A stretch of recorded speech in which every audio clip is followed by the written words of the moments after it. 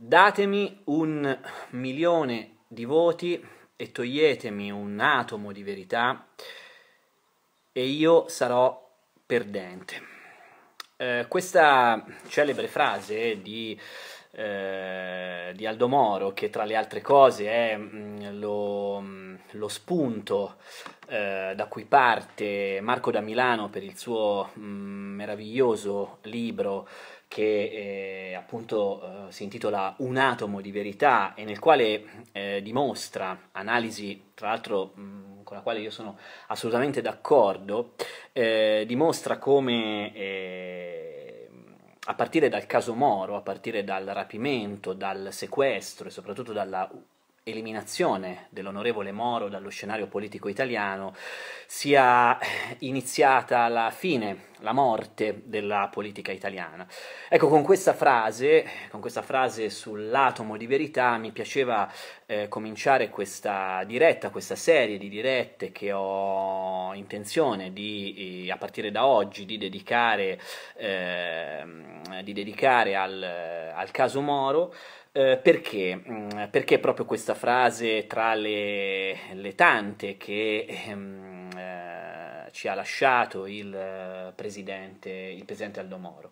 Perché eh, nel caso Moro, che non è semplicemente un eh, mistero della nostra storia, ma è il mistero per eccellenza, è eh, la nostra Dallas, il nostro il nostro 11 settembre, è eh, il mistero per eccellenza, o meglio la somma di tutti i misteri. Diciamo è come se eh, tutte quante le, eh, come se tutti i, i misteri relativi al, alla storia più recente italiana si fossero dati appuntamento, avessero trovato il loro eh, crocevia, il loro il loro compimento, la loro somma o la loro summa eh, lì in questi 55 giorni di sequestro in cui la storia d'Italia e di conseguenza anche la nostra storia è cambiata eh, irrimediabilmente e ehm, irrimediabilmente per sempre. Ehm, per quanto mi riguarda, al caso Moro ho eh, dedicato, eh, dedicato anni, di, ehm, anni di studi. Eh, ho dedicato anni di iniziative, scritti, ehm, progetti con i miei studenti e via dicendo, il che non mi autorizza, non ho la pretesa di definirmi un esperto, ma mh, mm, diciamo quantomeno, eh, quantomeno io ho eh, la convinzione di poter parlare sull'argomento con un minimo di ehm, cognizione di causa. Eh, su questa base io, eh, diciamo, a lungo ehm, progettato in, te- in, testa in maniera, diciamo, più o meno astratta, più o meno concreta, ho avuto in testa l'idea di fare uno spettacolo eh, in occasione del quarantennale del, del sequestro Moro, ovvero quindi nel 2018. Ehm, era, ripeto, è stata un'idea che io ho caldeggiato a lungo per diversi anni, avevo molti appunti, molte... Eh, molte eh, piccole grandi idee per costruire un monologo, poi eh, l'anno prima del quarantennale è successo che la seconda commissione parlamentare d'inchiesta ha eh, finito i suoi, i suoi, lavori, ha finito i lavori eh, sulla, sul, sull'inchiesta sul caso Moro e mh, ha ufficializzato delle verità a dir poco sconcertanti. Nel senso che la cosa più importante che ha fatto la seconda commissione parlamentare d'inchiesta è che ha reso ufficiali, ha reso verità provata eh, quello che in realtà non è che ha scoperto la seconda commissione di, parlamentare d'inchiesta. La seconda commissione parlamentare d'inchiesta si è decisa finalmente, ovvero il mondo della politica italiana, si è decisa mh, mm, a tirare fuori quelle prove e a dare l'ufficializzazione a ciò che in molti sapevano e sapevamo da eh, 40 anni, quelle verità che però chi le diceva veniva puntualmente accusato di essere eh, un visionario, un complottista, veniva accusato di, di dietrologia Insomma, ehm, verità talmente eh, sconvolgenti che io ho deciso di partire da lì, di partire da queste eh, novità eh, emerse dalla seconda commissione parlamentare d'inchiesta per costruire il mio spettacolo. Poi però mi sono fermato subito. Perché mentre lo scrivevo ho pensato, ma eh, roba del genere che fa letteralmente saltare sulla sedia, roba che eh, di fatto finalmente dice che tutta quella gente che è stata accusata di essere complottista, eh, visionaria, ora una volta che tutte queste verità vengono ufficializzate davvero, per il quarantennale non si parlerà d'altro. Io mi aspettavo tra il marzo e il maggio del 2018 sinceramente un, eh, un, diluvio di speciali, ore e ore in televisione, interviste, chi più ne ha più ne metta, dove si parlasse proprio di questo, di ciò che questa benedetta seconda commissione parlamentare d'inchiesta aveva, aveva ufficializzato. Mi aspettavo anche nella mia estrema ingenuità, eh, come dire, tutta una serie di...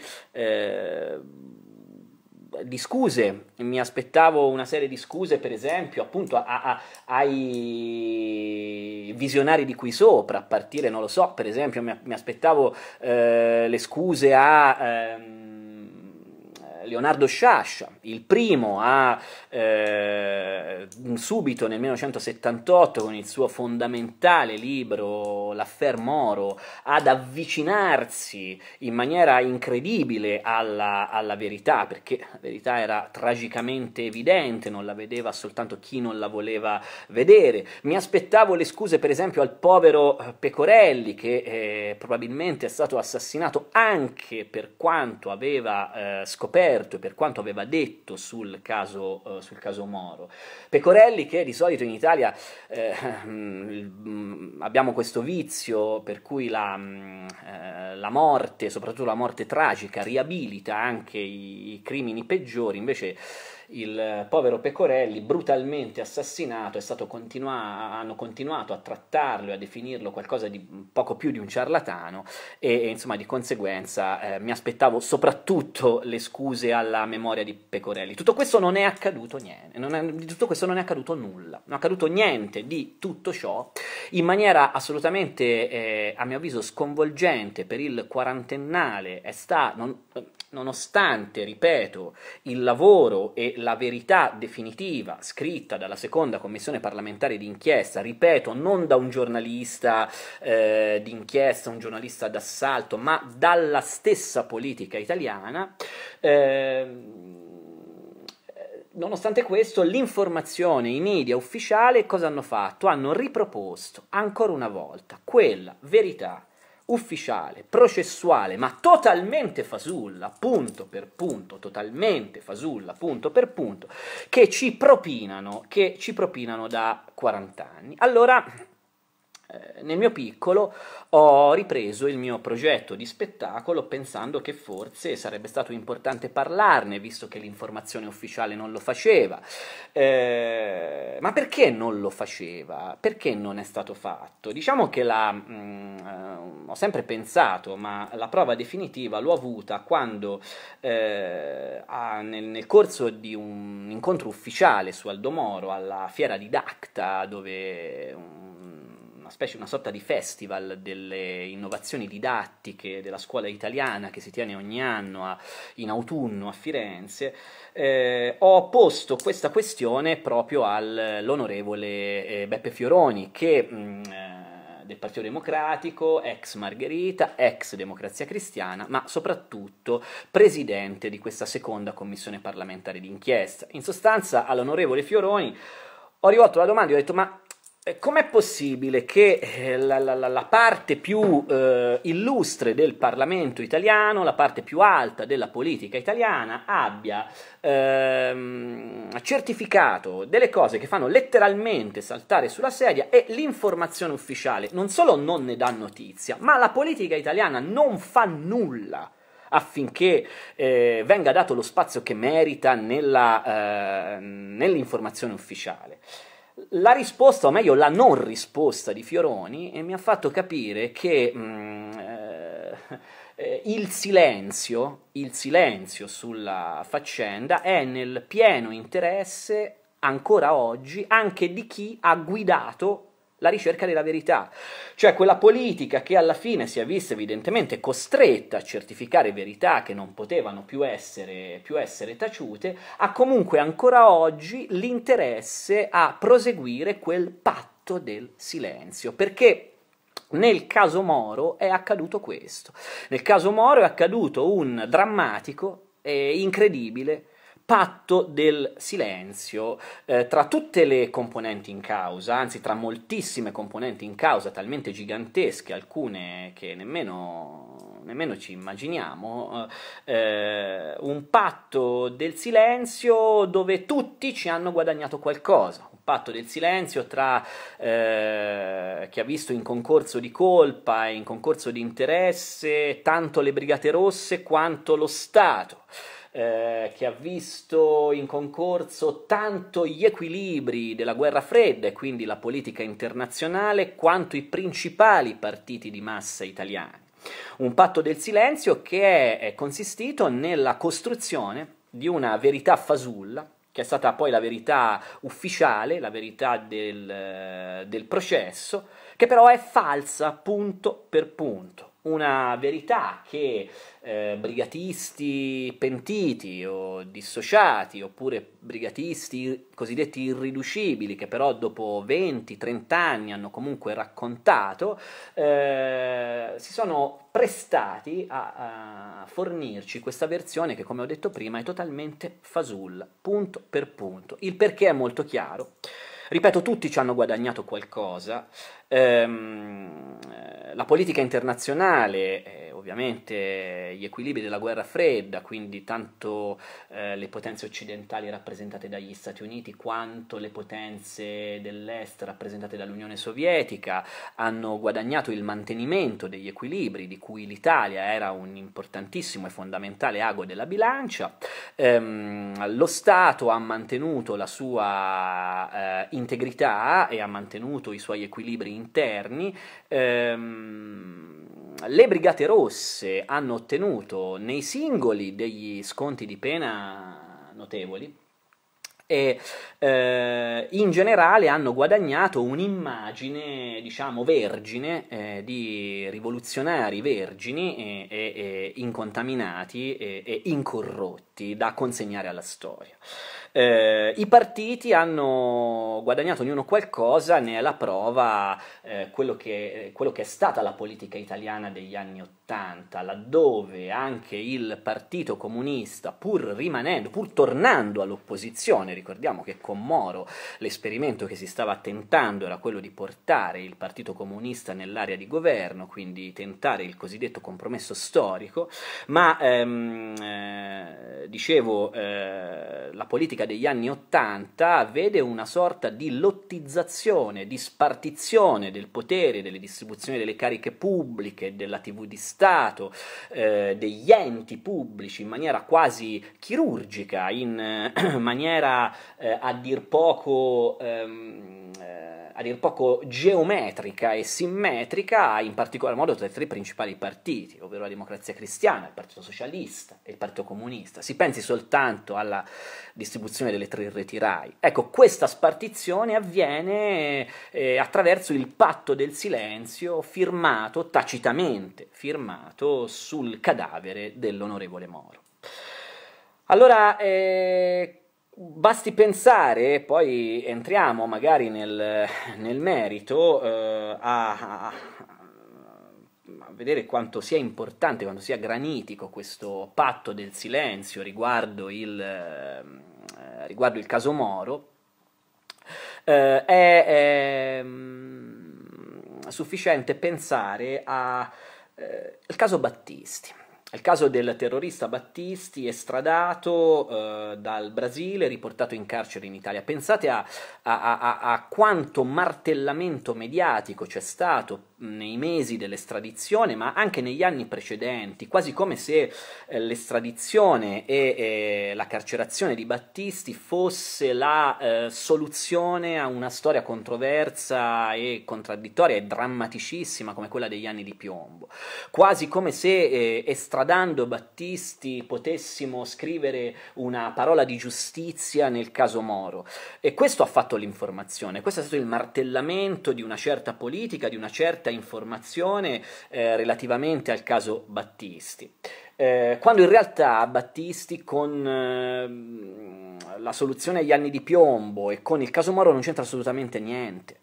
Eh, questo non è una soluzione a Battisti, sia chiaro. Eh, Battisti è un criminale e il suo posto è il carcere, punto. Ma Battisti, prima di tutto, mh, ha un'indagine che abbiamo condotto, il 15% delle persone lo sa, ma Battisti non è un brigatista. Mm, Battisti non era un brigatista, non faceva parte delle Brigate Rosse, prima di tutto. Faceva parte di un'altra formazione armata minore e lo stesso Battisti è un terrorista minore, uno di quelli che ehm, faceva parte di quella, eh, di quella zona grigia no? in cui si muoveva delinquenza, in cui si contaminavano a vicenda no? violenza, delinquenza comune e terrorismo organizzato. Eh, noi quindi abbiamo, eh, abbiamo, creduto a questa campagna eh, martellante della stampa e della politica per cui la conquista di Battisti avrebbe lavato il sangue degli anni di piombo, ma per esempio nessuno di noi, eh, a nessuno di noi importa nulla perché nessuno ce lo dice del fatto che è attualmente latitante in Nicaragua e nessuno lo vuole estradare, nessuno pensa all'estradizione di Alessio Casimirri. Chi è Alessio Casimirri? Lo vedremo, oggi lo, lo incontreremo, è, è un ex brigatista che ha avuto un ruolo determinante nell'agguato di Via Fani, nell'agguato con cui è stato rapito il presidente Moro e uccisi cinque uomini della scorta. Quindi vedete, cioè, nel senso, ehm, questo patto del silenzio ha fatto sì che noi per esempio ci dimenticassimo, ci dimenticassimo assolutamente di eh, Casimirri, che ancora è lì, in Nicaragua, ricordiamoci, è l'unico eh, di tutti i nomi finora fatti dai processi e dalle verità ufficiali relativamente a Via Fani a non aver scontato nemmeno un anno di carcere. Ora, su questi presupposti è nato il mio spettacolo, che è per l'appunto un monologo, uno spettacolo, non ha alcuna eh, dignità e pretesa di studio critico, eh, ha il ritmo di un racconto. Tuttavia si basa su eh, quelle che sono esclusivamente eh, i dati e le prove e eh, nasce proprio su questa base, sul voler contrapporre quella che è la verità fasulla che ci raccontano da 40 anni eh, con invece la realtà dei fatti emersa e ufficializzata dalla seconda commissione parlamentare d'inchiesta. Ehm, oltre agli atti della seconda commissione parlamentare, nel mio mh, lavoro sono stati fondamentali alcuni testi, Sciascia l'ho già citato, è stato una specie di, di faro per eh, tutti i miei studi sul caso Moro, i libri del professor Sergio Flamigni, altro studioso che ha dato tantissimi contributi alla verità, e da ultimo eh, fondamentali sono stati i saggi di quello che io ritengo essere il più grande giornalista d'inchiesta attualmente vivente in Italia, ovvero Paolo, Paolo Cucchiarelli, autore di due libri eh, fondamentali sul caso Moro, ovvero Morte di un presidente e L'ultima notte di ehm, Aldo Moro. Allora, eh, il mio spettacolo si chiama ehm, Eseguendo la sentenza, le ultime 24 ore di Aldo Moro. Eh, si chiama Eseguendo la sentenza, riprendendo eh, il gerundio più tragico della storia della Repubblica. Questa frase venne infatti usata dalle Brigate Rosse nel comunicato numero 9, l'ultimo, eh, quello che anticipava e annunciava l'esecuzione di Aldo Moro, quindi la sua uccisione. Le ultime 24 ore perché la, mh, come appunto seguendo l'inchiesta di eh, Cucchiarelli, eh, vediamo come proprio la cronistoria delle ultime 24 ore di eh, Aldo Moro sia eh, eh, indispensabile per comprendere che cosa si è mosso dietro questa storia e per capire chi e perché ha veramente ucciso il presidente della democrazia cristiana. Ehm, io il mio, il mio, spettacolo non lo cominciavo con... Ehm, lo cominciavo con qualcosa che non aveva nulla a che fare con, con il delitto Moro, lo eh, cominciavo raccontando, eh, ispirandomi appunto a quello che fa Sciascia nell'affair Moro, iniziavo raccontando la trama di una novella di Edgar Allan Poe, ovvero eh, la, lettera la, la lettera rubata dove un ministro francese, Monsieur D, eh, riesce a rubare una lettera proprio sotto il naso del suo legittimo destinatario e che non è una lettera qualsiasi, ma è una lettera dal contenuto altamente compromettente per tutta una serie di persone molto in vista nell'alta società francese, politici, nobildonne, imprenditori, artisti, attrici.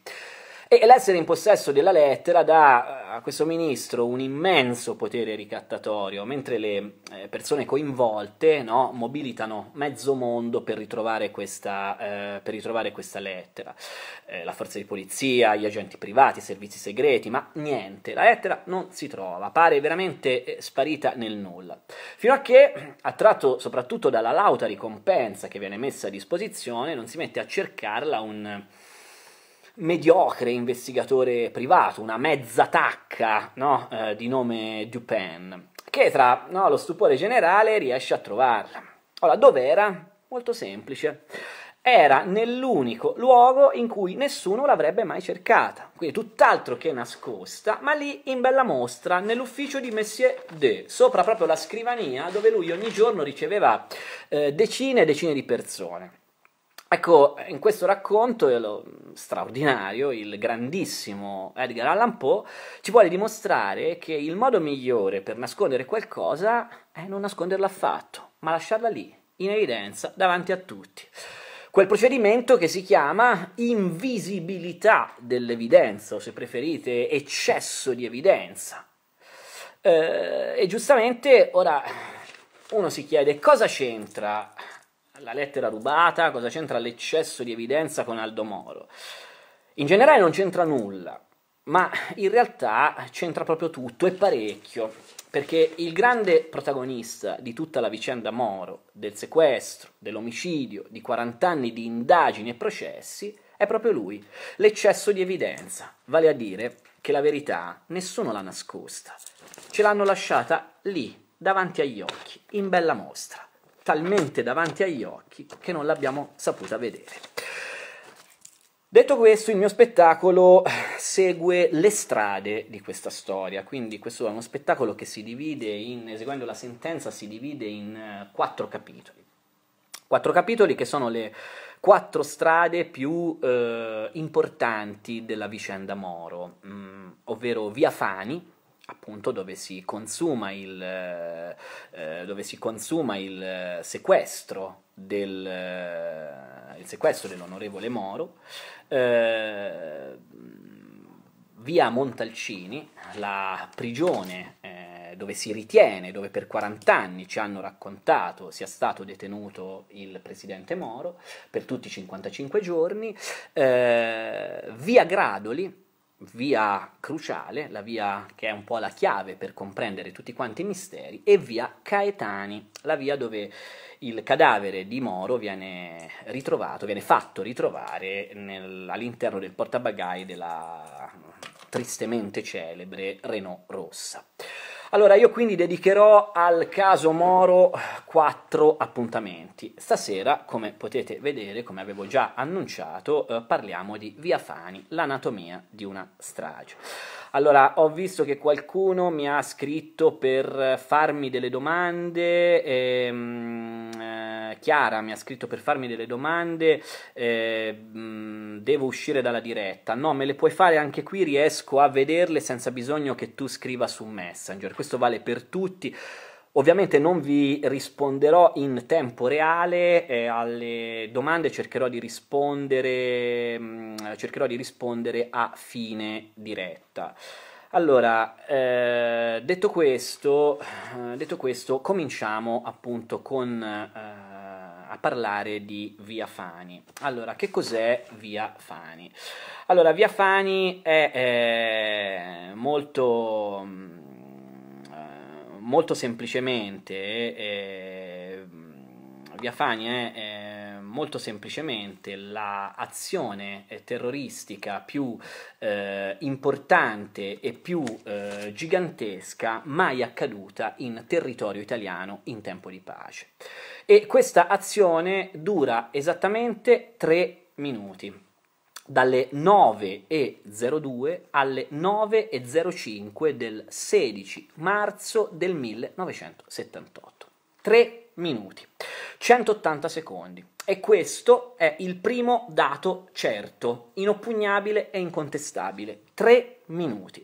Allora io vi chiedo di eh, non dimenticarlo, di tenerlo a mente, di tenere a mente questi tre minuti perché eh, è un dato che ci aiuterà a capire molte cose nel corso di questo racconto. Allora, eh, per quanto riguarda Via Fani, la eh, famosa versione ufficiale, quella appunto processuale, eh, quella appunto costruita e che ci raccontano no, nel cor- da 40 anni, è già in partenza, già nel momento in cui si inizia a costruirla, contiene qualcosa che la rende inattendibile, ma addirittura la rende inattendibile prima ancora di ascoltarla. Ovvero, la dinamica che noi conosciamo, che ce l'hanno raccontata miliardi di volte, che l'abbiamo addirittura vista nelle ricostruzioni cinematografiche, eh, nei documenti.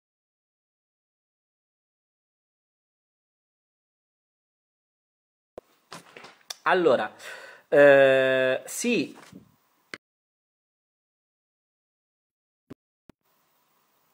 Scusate se è eh, un attimo, eh, c'è stata un'assenza di linea. Allora, dicevo, ehm, questa azione, ehm, c'è un qualcosa che la rende, dicevo, inattendibile prima ancora di ascoltarla. Ovvero il fatto che questa dinamica che noi conosciamo a memoria, che ci hanno raccontato miliardi di volte, che abbiamo visto in, in tutte le ricostruzioni cinematografiche, documentaristiche, eccetera, eccetera, almeno a grandi linee, almeno nella sua ossatura, nel suo scheletro, è stata, riconos- è stata ricostruita sulle dichiarazioni che i eh, pentiti, i primissimi pentiti delle Brigate Rosse, ovvero Peci e Savasta, rilasciarono nel corso del primo processo Moro. Allora, eh, primo processo Moro che si conclude nel 1983 e siamo ad un'altezza cronologica in cui ancora eh, le Brigate Rosse, pur decimate, pur in una situazione che è già senza via d'uscita, eh, hanno ancora una compattezza eh, più o meno granitica. Cosa significa? Significa che eh, le ehm, eh, Brigate Rosse non ancora, non sono ancora falcidiate dal fenomeno dei pentiti.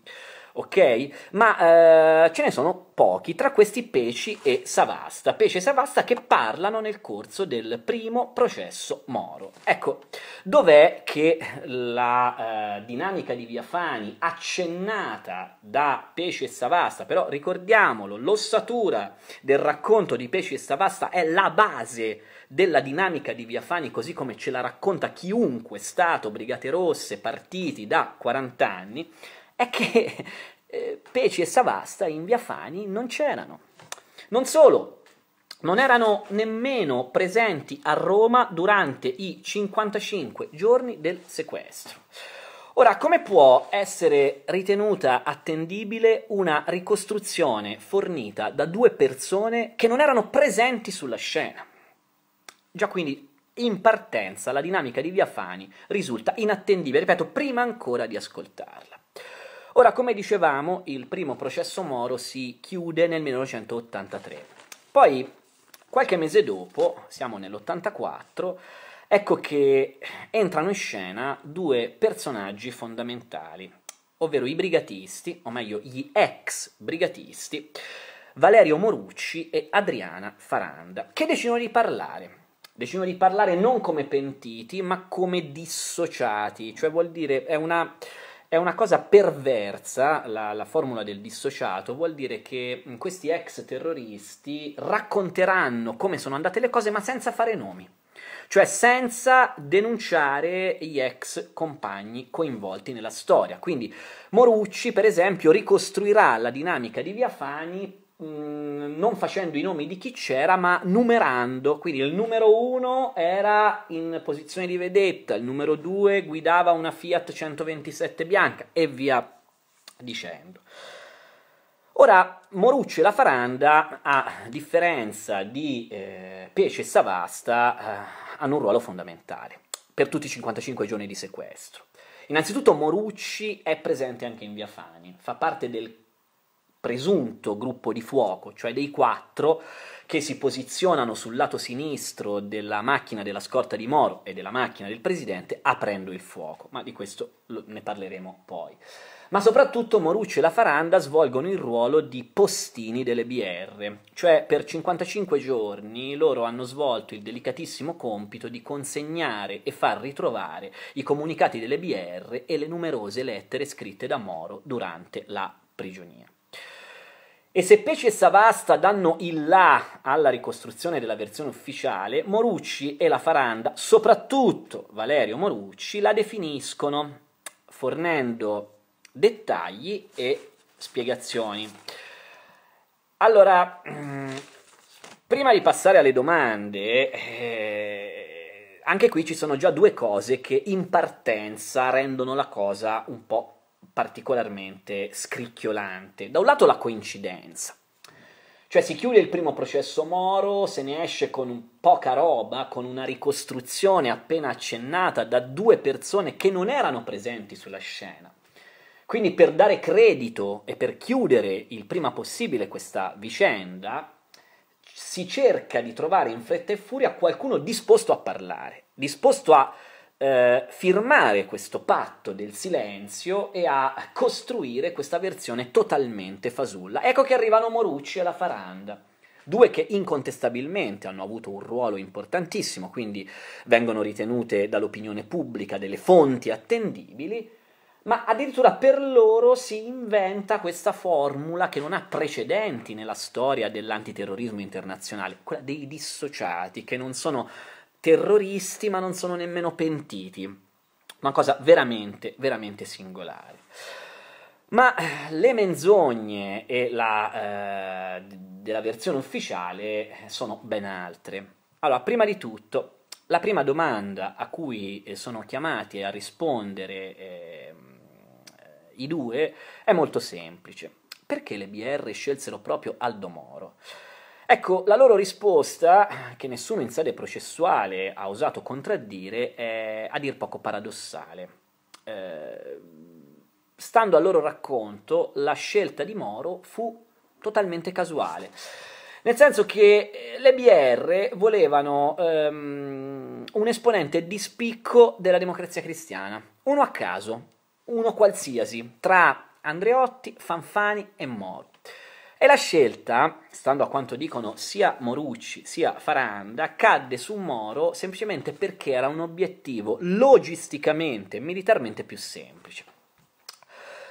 Allora, anche se noi volessimo credere a quanto eh, Morucci e la Faranda ci raccontano, eh, questo contraddice totalmente l'immagine che le BR hanno sempre dato di se stesse, ovvero di un gruppo estremamente meticoloso e inflessibile dal punto di vista politico, come si può anche solo pensare che l'operazione più importante, delicata e complessa della loro storia nasca da una scelta casuale e improvvisata? Ma soprattutto, in particolare, Morucci e gli andranno dietro via via altri brigatisti fino ad arrivare alla voce più illustre delle Brigate Rosse, tra illustre tra virgolette, ovvero il capo delle BR al tempo del rapimento Moro, vale a dire Moretti, Mario Moretti. Ora, Morucci si preoccupa, ma in maniera continua, quasi ossessiva, di slegare la scelta di Moro dal compromesso storico, ovvero appunto quel progetto politico di cui stavamo parlando prima, che puntava a far entrare eh, il PC nell'area di governo. Allora, secondo la versione ufficiale, dove anche qui nessuno in sede processuale ha osato smentire Morucci, eh, sarebbe una coincidenza che il rapimento avvenga proprio il 16 marzo, ovvero il giorno in cui si votava, si sarebbe votata la fiducia al primo governo del dopoguerra con l'appoggio esterno del Partito Comunista. Un, gonve- un governo disegnato proprio da Moro e che del compromesso storico eh, doveva essere ed era il primo passo. E eh, sarebbe, sempre secondo Morucci, ripeto, secondo tutto il racconto costruito dalle Brigate Rosse e fatto passare per verità ufficiale, sarebbe una coincidenza anche il fatto che il cadavere di Moro sia stato ritrovato in via Caetani, cioè esattamente a metà strada tra la sede del Partito Comunista e quello della Democrazia Cristiana. Ora, eh, di nuovo, eh, volendo mh, anche sforzarci a credere alle parole di Morucci, ehm, è francamente molto difficile eh, credere a tutte queste coincidenze. Con tutto che, e questa forse è la cosa più importante, osteggiare il compromesso storico per le Brigate Rosse non era semplicemente un interesse, ma ne andava proprio della loro sopravvivenza. Infatti proviamo a ragionare. Se il Partito Comunista si fosse definitivamente, diciamo così, istituzionalizzato, diventando un partito di governo, sarebbe finita no? quella eh, contrapposizione frontale, quella spaccatura sociale che aveva consentito alle Brigate Rosse di eh, nascere, sopravvivere e contare anche su una vasta e indefinita rete di fiancheggiatori. Detta in maniera più semplice, senza quello scenario che Moro puntava a smantellare, le Brigate Rosse avrebbero cessato di esistere. Eh, anche perché è proprio qui che sta il problema di fondo di tutta questa storia. È qui che sta la chiave del mistero.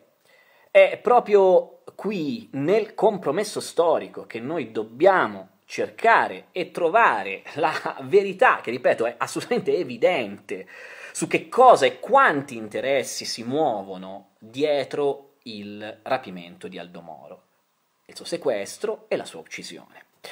Ora, il compromesso storico, e qui bisogna eh, essere un po' noiosi e tornare un attimo indietro, il compromesso storico non era semplicemente un disegno politico, un modo per superare quella profonda crisi economica e sociale in cui era piombato il paese negli anni 70. Eh, risolvendo quindi il grande paradosso italiano per cui un partito, ovvero il Partito Comunista, che rappresentava più di un terzo degli elettori, si vedeva sistematicamente preclusa la possibilità di governare. Era molto più di questo. Il compromesso storico, e per questo ora vedremo il compromesso storico, il disegno politico di Moro, eh, fece tremare il mondo intero era il tentativo di archiviare e mettere una volta per tutte in soffitta la cosiddetta logica di Yalta. Ovvero facciamo questo vorticoso passo indietro e andiamo a Yalta il 4 febbraio del 43 dove si incontrano i capi di Stato di Stati Uniti, Unione Sovietica e Gran Bretagna, ovvero Roosevelt, Stalin e Churchill. Seconda guerra mondiale in piano corso. Eh, gli episodi più drammatici devono ancora avvenire, ma è tutto già scritto. Cioè l'alleanza, o meglio la convergenza, diciamo, tra sovietici da una parte e anglo-americani dall'altra, ha già sancito che Hitler e i suoi alleati perderanno la guerra. Così a Yalta non si discute di strategie militari, ma del futuro del mondo, di quel mondo che verrà dopo la guerra. Detta in parole ancora più semplici, a Yalta si decide la guerra fredda, vale a dire la spartizione del mondo in due grandi aree di influenza, una americana e una sovietica, dove le due superpotenze eserciteranno controllo politico, economico, sociale, dando vita a un equilibrio internazionale gigantesco, ma che si pensa dovrebbe, dovrà essere immutabile e indiscutibile. Ora, questa lezioncina di storia, anche abbastanza eh, noiosa e raffazzonata, cosa c'entra eh, con la storia di Aldo Moro? C'entra tutto, perché è Yalta il vero e unico prologo possibile al caso Moro. E per dirla in maniera estremamente più brutale, è la logica di Yalta ad aver ucciso Aldo Moro, la logica di Yalta a eseguire quella sentenza che lo condanna a morte. Noi sappiamo che durante la guerra fredda, eh, come dire, tutti i mh, mm, paesi sono più o meno assoggettati alle due superpotenze, ma il caso dell'Italia è molto particolare. Io direi assolutamente unico, cioè nella guerra fredda l'Italia a suo modo è molto semplicemente il centro del mondo, il punto strategico per eccellenza. È ovvio, c'è la sua posizione geografica che la rende una frontiera naturale tra l'est e l'ovest, il crocevia del Mediterraneo tra l'Europa e il Medio Oriente, no? fondamentale sulla via del petrolio, ma anche perché in Italia, appunto, siamo sempre lì, c'è il più grande partito comunista dell'Occidente Atlantico, un gigantesco partito di massa che non ha eh, eguali in Occidente, che detiene qualcosa come il 34% dei consensi, stando alle elezioni che c'erano state nel 1976, e sta sfiorando in quegli anni continuamente il sorpasso sulla democrazia cristiana. Ora, questo mh, non deve assolutamente accadere perché un eventuale primato del PCI manderebbe letteralmente all'aria tutti gli equilibri internazionali. Così l'Italia non si trova semplicemente assoggettata sottoportata agli Stati Uniti, ma è sotto il controllo totale di Washington, che in Italia ha bisogno di basi, appoggi, servizi di intelligence. Possiamo dire che durante tutta la durata della guerra fredda non c'è iniziativa del governo italiano che non debba avere l'approvazione americana. Per questo si parla, relativamente alla storia dell'Italia di quegli anni, di sovranità limitata o di democrazia bloccata. E quindi questo è il compromesso storico, è il progetto con cui Aldo Moro vuole restituire sovranità nazionale all'Italia, con cui Aldo Moro vuole far arrivare l'Italia a una democrazia piena, compiuta, basata sull'alternanza tra democrazia cristiana e partito comunista. Il progetto con cui Aldo Moro vuole superare la logica di Yalta, ma è anche il progetto che lo condanna inesorabilmente a morte.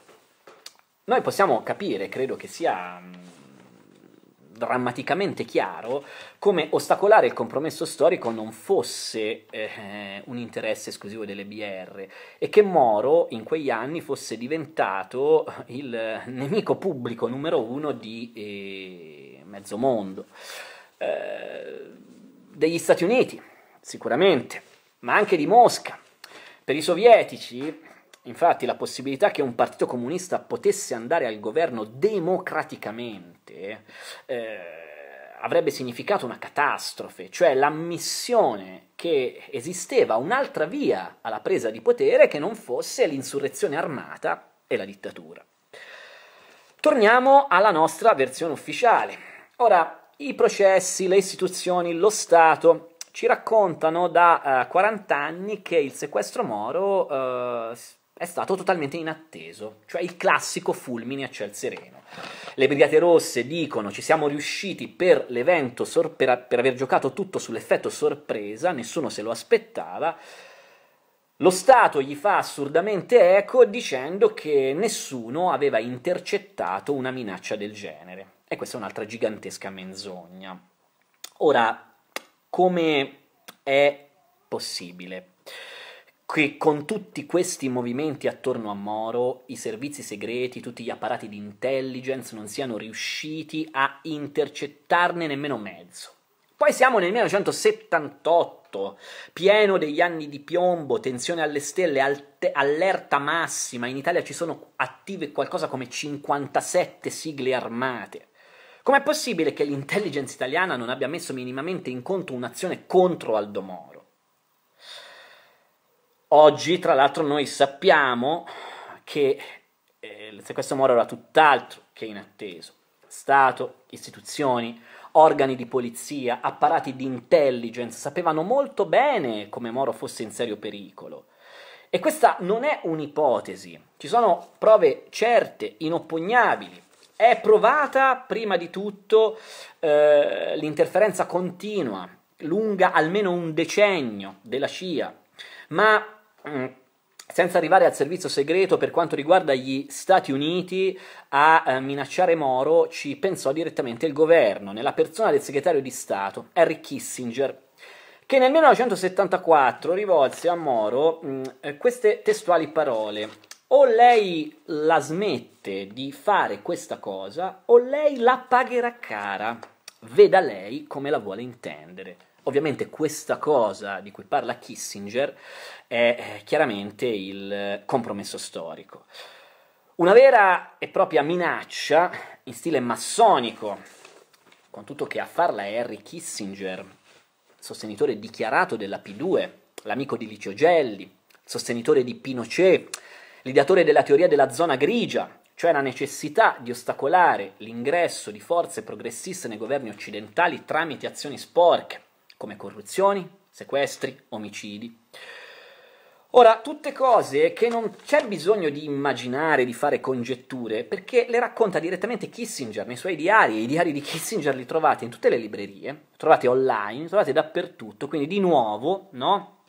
La, eh, l'eccesso di evidenza, no? la verità che è sempre stata sotto i nostri occhi.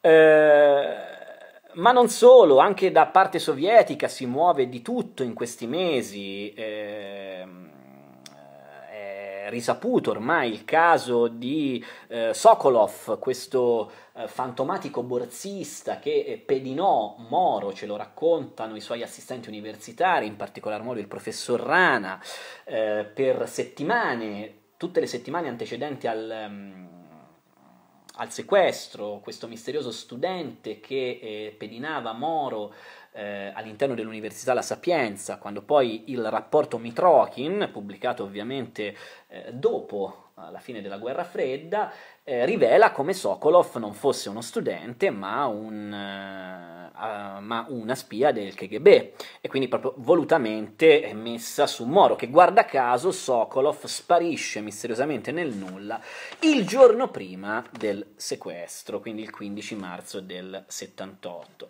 Ma poi sono provate le moltissime segnalazioni che nei mesi precedenti via Fani arrivano ai servizi segreti italiani, di conseguenza al governo.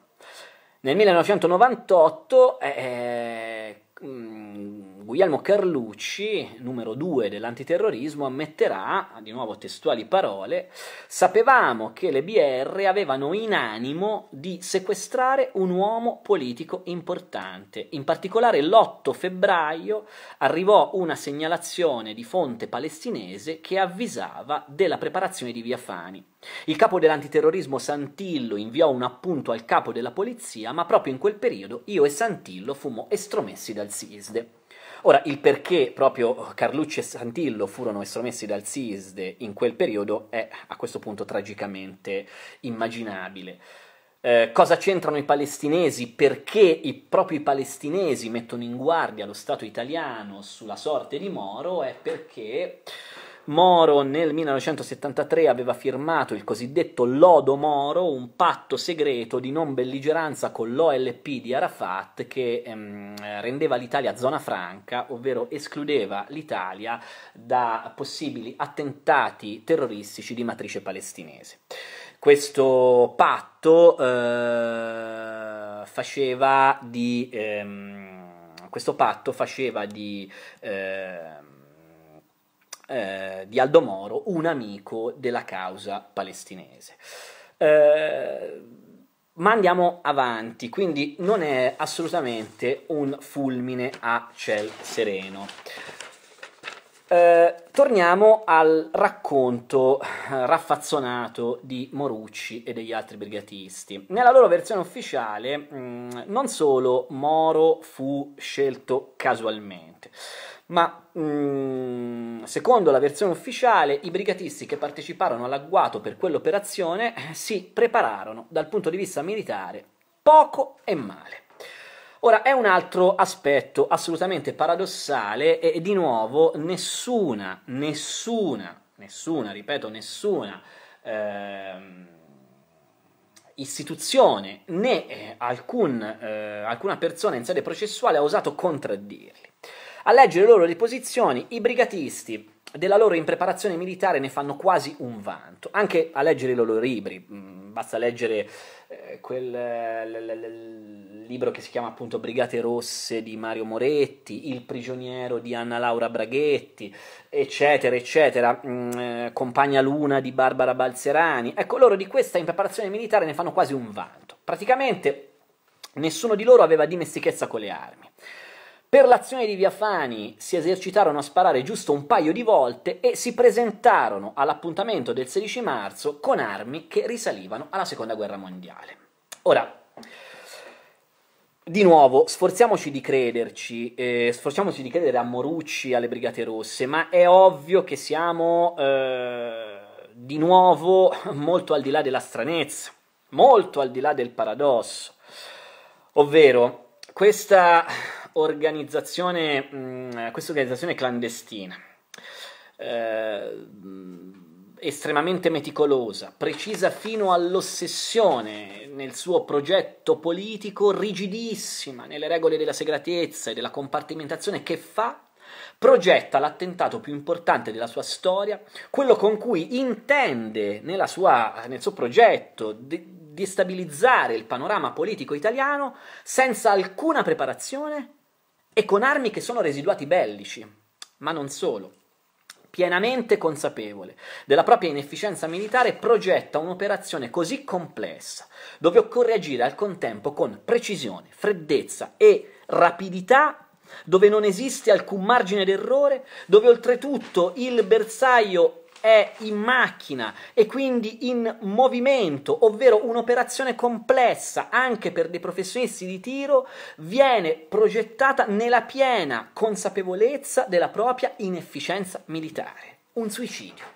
Cioè, praticamente, stando a quanto ci vogliono far credere Morucci e le Brigate Rosse, a quanto ci vuol far credere lo Stato da 40 anni, le Brigate Rosse sono andate in via Fani a suicidarsi e sono riuscite nel loro progetto esclusivamente per buona sorte, perché baciati dalla fortuna. Ma il dato più importante l'abbiamo detto all'inizio, ovvero io vi ho detto tenetevelo a mente, è certo come l'azione di Via Fani duri appena tre minuti. Quindi, secondo la versione ufficiale, questi guerriglieri improvvisati, che non sanno sparare, senza armi degne di questo nome, in appena 180 secondi riescono a fermare la macchina di Moro e quella di scorta, a uccidere i cinque uomini della scorza senza, senza, che questi riescano a reagire e a prelevare l'ostaggio senza ferirlo minimamente. È ovvio che i conti non tornano, ma i conti non tornano soprattutto nella dinamica di Via Fani, così come ci è stata raccontata. Infatti, Secondo la versione ufficiale, eh, quella che appunto eh, ci eh, raccontano sia ehm, quella che appunto disegnano, tratteggiano Pece e Savasta, ma che poi completano Morucci e gli altri brigatisti, a prendere parte all'agguato eh, sono 10 brigatisti. Ora, di questi 10, e qui entriamo nella dinamica di Via Fani, nella anatomia della strage, eh, di questi 10, una, Rita Algranati, ha soltanto il compito di vedetta e quindi non spara. Il suo compito è quello di attraversare la strada con un mazzo di fiori nella parte inferiore di Via Fani. Eh, lei si trova in una prospettiva più alta, quindi lei deve vedere l'arrivo della macchina del presidente, attraversare la strada per dare il segnale a Mario Moretti, che guida una 127, di immettersi nel traffico davanti a questa macchina. Quindi Rita Granati svolge il ruolo di, ve- di vedetta e quindi non spara. Poi ce ne sono due altri due brigatisti, Casimiri e lo Iacono, che sono armati ma non sparano neppure loro, perché hanno il compito di fare da cancelletto inferiore, cioè bloccare il traffico nella parte inferiore di Via Fani. Un'altra brigatista, e siamo a quattro, ovvero Barbara Barzerani, svolge lo stesso compito di cancelletto superiore, nella parte alta della strada, proprio all'incrocio con Via Stresa. Anche lei è armata, ma anche lei non spara. Un altro di questi dieci, Bruno Seghetti, non è nemmeno in via Fani, ma staziona in una stradina laterale eh, con la macchina in cui verrà trasportato Moro dopo il rapimento. Un altro ancora è Mario Moretti, il capo delle Brigate Rosse, che ha il compito di immettersi nel traffico davanti alle auto di Moro e poi di frenare improvvisamente per bloccarle. Nemmeno lui spara. In sostanza, i brigatisti sono 10, ma sono solo 4 quelli che sparano, ovvero Gallinari, Bonisoli, Morucci e Fiore, che travestiti da avieri sbucano fuori da una siepe accanto al famigerato bar Olivetti, poi anche del bar Olivetti ne, eh, ci torneremo, eh, da una siepe quindi e aprono il fuoco sulle due auto particolare importante, disponendosi tutti e quattro sul lato sinistro. Secondo la versione ufficiale raccontata da Morucci, dallo Stato e dai processi, sono disposti esclusivamente sul lato sinistro e sono solo in quattro a scatenare l'inferno in appena tre minuti, in appena 180 secondi. Ok? Allora, eh, allora, anche, no, a, anche sforzandoci eh, di eh, eh, credere di nuovo a Morucci e a eh, questa versione, quindi eh, ripetiamo, ripetiamo la eh, dinamica ufficiale, Rita Algranati con un mazzo di fiori attraversa la parte inferiore di Via Fani dando il via all'operazione, eh, Moretti che guida una 127 bianca si immette nel traffico davanti all'auto di scorta e alla eh, Fiat 130 dove viaggia il presidente Moro e poi arrivati in fondo a Via Fani all'incrocio di, eh, con Via Stresa mentre una brigatista, Barbara Balzerani, fa da cancelletto superiore e altri due, Casimirri e Loiacono, fanno da cancelletto inferiore. Moretti frena energicamente, imprigiona le due auto e i quattro del comando di fuoco, ripetiamo, Galinari, Bonisoli, Morucci e Fiori, sbucano fuori dalla siepe del bar Olivetti e aprono il fuoco sul lato sinistro sulle due macchine. Ora, dicevo, anche sforzandoci di credere a questa versione, a questa dinamica, ovvero che soltanto quattro brigatisti inesperti e mal equipaggiati abbiano neutralizzato cinque agenti di scorta preparatissimi, ricordiamoci che sono la scorta di uno degli uomini politici più importanti del mondo, ma qui eh, anche volendo credere al fatto che questa operazione riesca esclusivamente grazie alla buona sorte, alla forte motivazione ideologica del comando di fuoco e al fattore sorpresa, i conti continuano a non tornare.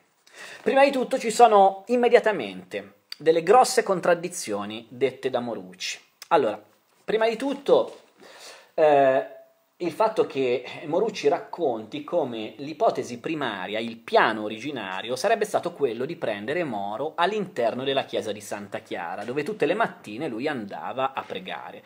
Morucci dice fu scartata perché ci sarebbero voluti almeno 20 brigatisti. Cioè, secondo Morucci, per un obiettivo statico ne servivano 20. Qui, con l'obiettivo in movimento, ne bastano meno della metà.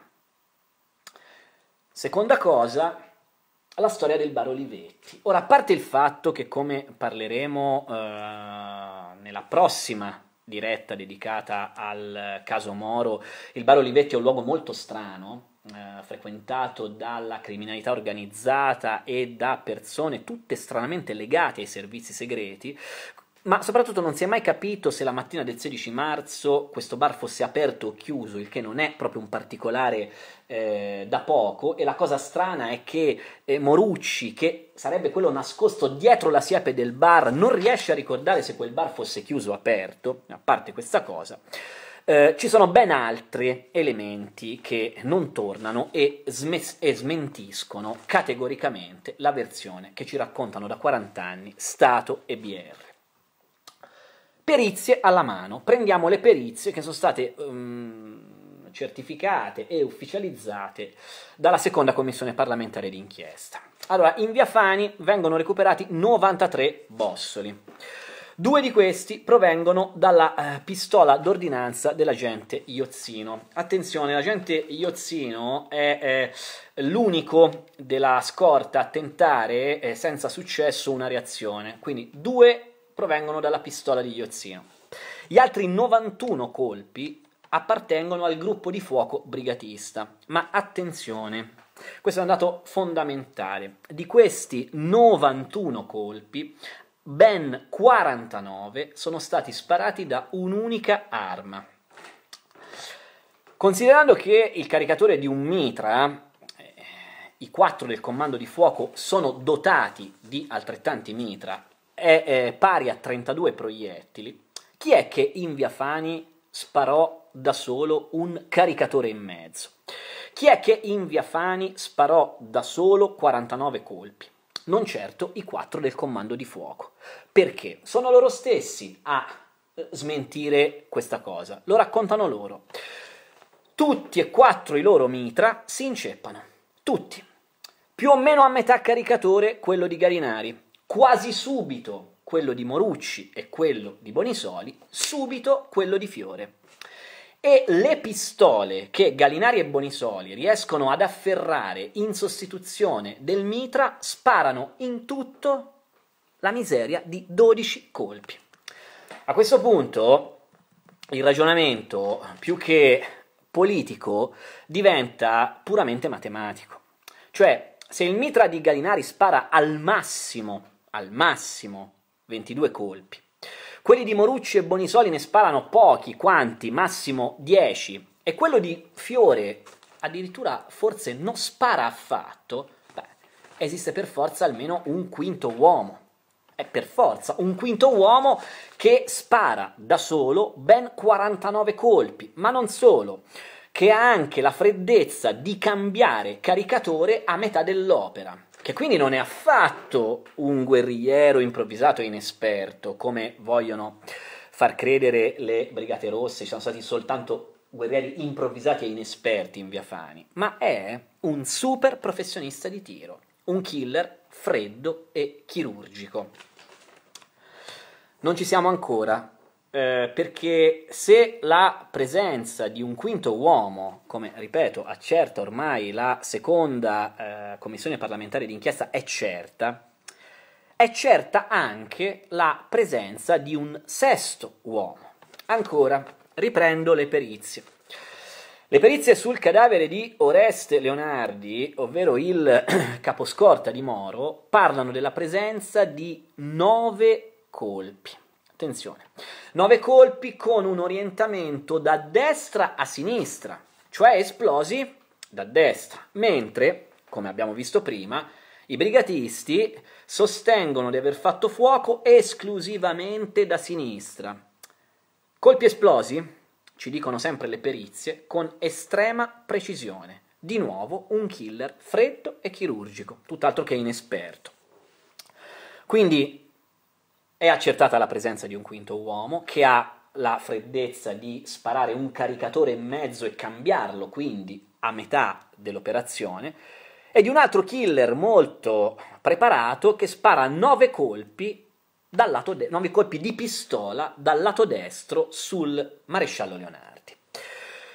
Ora, quindi, da qui possiamo già delineare una cosa molto importante, che sicuramente i 10 indicati dalla versione ufficiale, i 10 brigatisti indicati dalla versione ufficiale, quella mattina erano lì in via Fani. Sicuramente avranno avuto parte attiva nell'agguato e nel massacro. Ma è altrettanto sicuro che non c'erano soltanto loro e che, B- che le BR quella mattina in via Fani non erano sole. Oltre al, anzi, oltre al quinto e al sesto uomo c'erano anche altre persone, altre realtà. Ovvero noi quando parliamo di Via Fani dobbiamo passare da quell'assunto che hanno provato a farci credere insistentemente per 40 anni che c'erano solo le BR, dobbiamo passare a c'erano anche le BR. Perché lo ripeto, quella mattina Via Fani era molto affollata. Un affollamento inquietante se pensiamo a quanti e quali poteri avevano interesse a eliminare Moro. Ma per andare verso la conclusione della nostra chiacchierata, chi c'era quel giorno in Via Fani? Eh, anche in questo caso non c'è nessuna, nessun complottismo, nessun eh, atteggiamento visionario, ci sono le prove, certe e inconfutabili, anche in questo caso provate ed evidenti. Eh, prove che poi tra l'altro alcune di queste non sono saltate fuori adesso, dopo 40 anni di oblio, ma immediatamente, che sono state a disposizione di tutti subito dopo l'agguato. Quindi, chi c'era in Via Fani, oltre i 10 BR, oltre questo quinto e sesto uomo? Allora, prima di tutto c'era una macchina, una mini familiare modello Clubman estate. Ora, certo, è ovvio, di auto parcheggiate in via Fani ce ne sono tante, ma quella mini è particolarmente importante perché nella dinamica dell'agguato e soprattutto nella sua riuscita la mini è decisiva. Prendete qualunque foto di quei momenti di via Fani, eh, la mini è visibile accanto all'auto di... Eh, guidata da Moretti, accanto all'auto dei, eh, di scorta e accanto alla eh, Fiat eh, dove viaggiava il presidente Moro.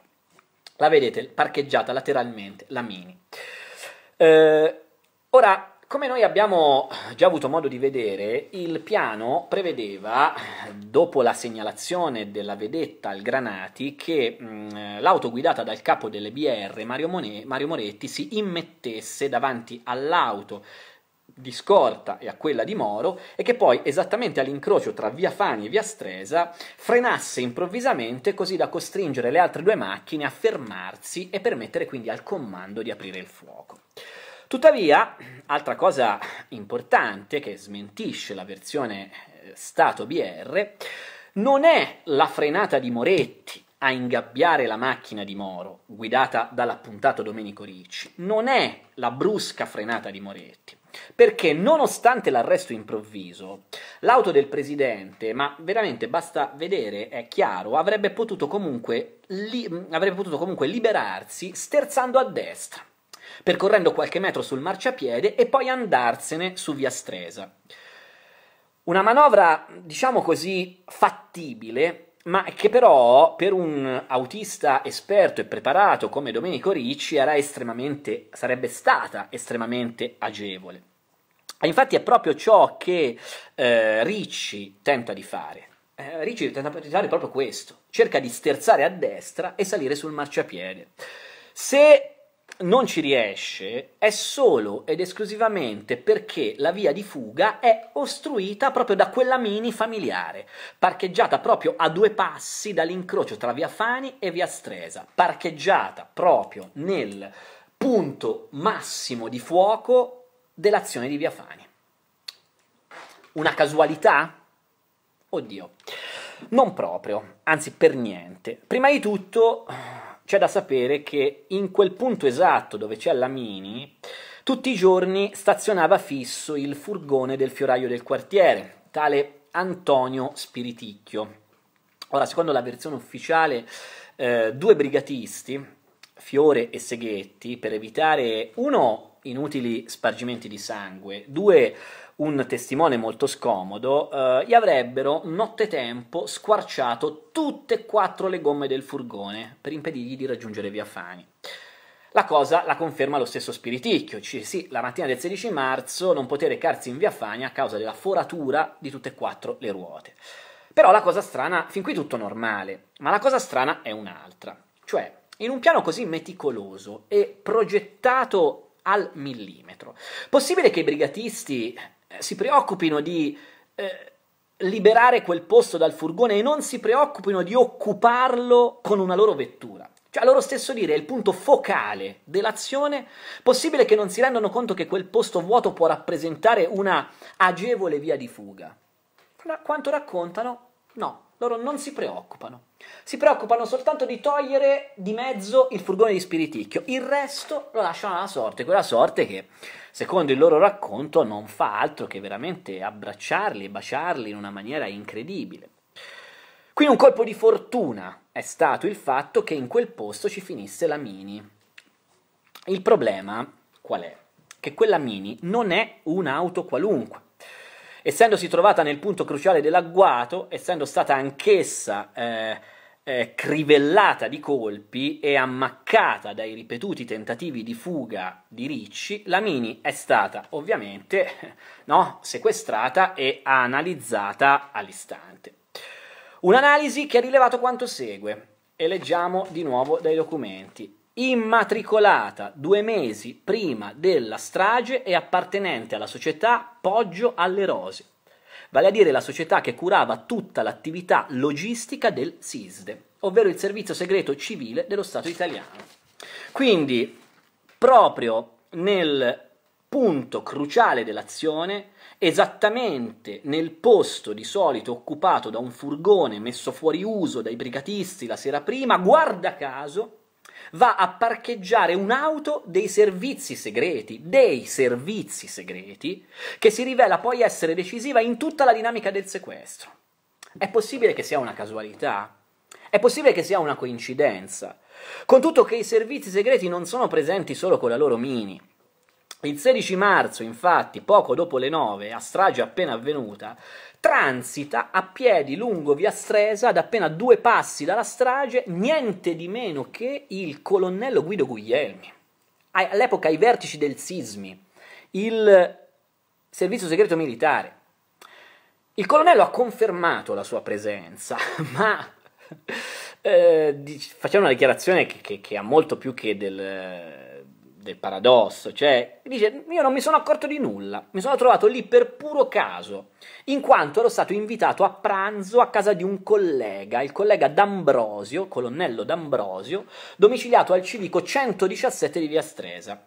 Ora, il colonnello D'Ambrosio, amico provato del colonnello Guglielmi, abita effettivamente, abitava effettivamente al 117 di Via Stresa. Solo che Com'è possibile che non sia accorto di nulla? Che non abbia udito nemmeno uno sparo, nemmeno una sirena spiegata? E com'è possibile che una persona venga invitata a pranzo alle 9 di mattina? Ma anche qui nessuna indagine, nessun approfondimento.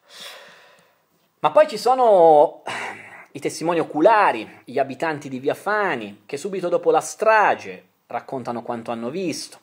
Dieci testimoni, di cui tre addirittura ritenuti attendibili dalle indagini immediate che raccontano agli inquirenti di aver visto chiaramente due motociclisti armati di mitra a bordo di una Honda. In particolare un testimone, l'ingegner Marini, racconta che alcuni colpi sparati dai motociclisti abbiano raggiunto il parabrezza del suo motorino. Attenzione, questi colpi sono stati poi repertati, il parabrezza del motorino è stato poi esaminato e questi colpi effettivamente c'erano. E bisogna ricordare che il primo messaggio diffuso via radio a tutte le auto di polizia dopo la strage parlava proprio di fermare due motociclisti. Ma non solo.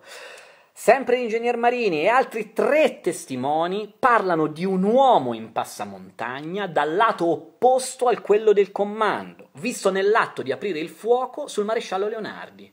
Dettaglio, come sappiamo, rilevato dalla perizia che abbiamo citato prima, che coincide con quanto detto dalla perizia. Colpi di pistola da un uomo in passamontagna, un killer freddo e spietato, sparati dal lato destro. Non solo, altri testimoni parlano di uomini che parlavano tedesco, anzi di donne che parlavano tedesco presenti in via Fani quella mattina nel bel mezzo dell'agguato e della strage. E bisogna ricordare che ci sono delle singolari, singolari coincidenze tra la dinamica del rapimento Moro e i sequestri organizzati dal gruppo terrorista più efferato e sanguinario della Germ- dell'allora Germania Ovest, ovvero la RAF. Insomma, Via Fani è affollatissima. Ma dove sono finite tutte queste testimonianze? Perché sono state rilevate, considerate attendibili e poi nel momento in cui il racconto di Morucci ha dato il via alla costruzione della versione ufficiale sono state dimenticate, censurate, cancellate? Chi e che cosa si è voluto coprire? Allora, per rispondere a questa domanda, chi e cosa si è voluto coprire e per dare una identità, non tanto un nome, un cognome, un volto, ma per dare almeno un'area di provenienza a tutto questo affollamento in Via Fani, a tutte queste entità che si muovono in Via Fani, è indispensabile eh, lasciare Via Fani. È indispensabile andare a vedere che cosa succede subito dopo il sequestro, dove noi sappiamo, la versione ufficiale ci racconta no, che l'onorevole Moro fu portato in, nell'appartamento di via Mon, nella prigione del popolo all'interno dell'appartamento di via Montalcini e qui sarebbe rimasto chiuso per tutti i 55 giorni del sequestro. Quell'appartamento intestato ad Anna Laura Braghetti, che all'epoca era una brigatista irregolare, gli irregolari erano quelli che non erano in clandestinità, ufficialmente continuavano a, ad avere una vita normale, ma in realtà erano brigatisti a tutti gli effetti. Quindi, in quanto insospettabile, gli intestano l'appartamento di via Montalcini. Per via Montalcini e per il quartiere lei è ufficialmente sposata al cosiddetto ingegnere Altobelli, che è il nome falso di Germano Maccari, militante dell'area dell'autonomia romana, che proprio in quei nel, al momento del sequestro Moro si affilia alle Brigate Rosse e oltre a Braghetti e a Maccari nell'appartamento di via Montalcini sarebbero entrati soltanto Mario Moretti, capo delle BR, e Prospero Galinari, che sono i due eh, leader dell'ala cosiddetta militarista delle BR, mentre personaggi come Curcio e Franceschini, che in quel momento sono in carcere già da diversi anni, rappresentano l'area più ideologica. Anche questa è tutta una colossale menzogna, ovvero Moro non è mai stato portato in via Montalcini, dove ci hanno raccontato che invece è rimasto per tutti i 55 giorni, ce l'hanno raccontato per 40 anni. La prigione di Moro non è stata una soltanto, di prigioni ce ne sono state diverse e dopo l'agguato di Via Fani Moro viene portato a pochi metri di distanza dal luogo dell'agguato, del sequestro, del massacro dei cinque agenti di scorta. In un appartamento molto particolare, sito in uno stabile ancora più particolare, un condominio molto particolare, che ripeto, ci può dare molto più che una risposta a queste domande che abbiamo appena fatto. Chi e cosa si è voluto coprire e quali entità ci sono dietro la Mini, parcheggiata nel punto focale, dietro il colonnello Guglielmi, dietro i tedeschi, dietro i motociclisti dell'Onda e dietro il quinto e il sesto uomo. Ma questa, direbbe qualcuno, è un'altra storia, è la storia della prossima diretta dedicata al caso Moro in cui parleremo di Via Montalcini. Via Montalcini, ovvero la prigione inesistente. Vi aspetto giovedì con la prossima puntata del caso Moro. Grazie a tutti per